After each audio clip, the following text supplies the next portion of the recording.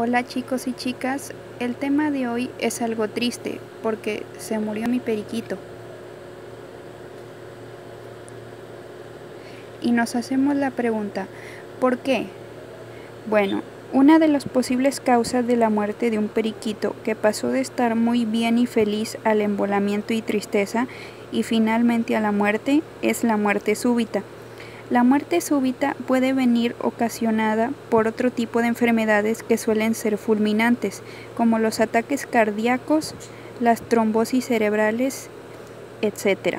También puede ser otra de las razones por las que pueden fallecer los pájaros, como consecuencia de la muerte súbita y por último el estrés ya que se sabe que el estrés es la fuente de muchos problemas en animales y en los pájaros ocurre lo mismo, tales como la adaptación a un nuevo ambiente como una nueva jaula o tipo de clima o compañía de otros pájaros.